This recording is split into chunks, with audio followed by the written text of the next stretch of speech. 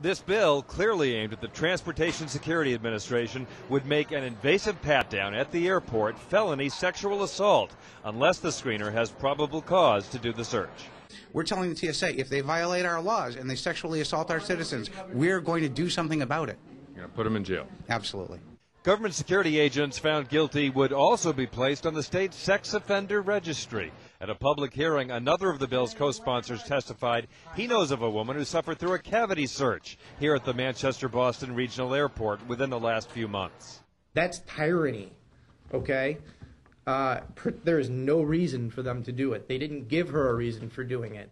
TSA agents who perform full body scans with advanced imaging technology, now in use at Boston's Logan Airport, could also be charged with sexual assault under this legislation.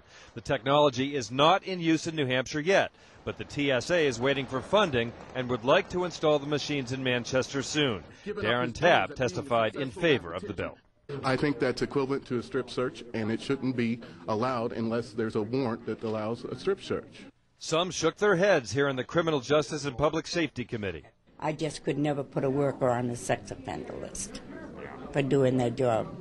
And many travelers we spoke with say safety has to come first. It sounds crazy.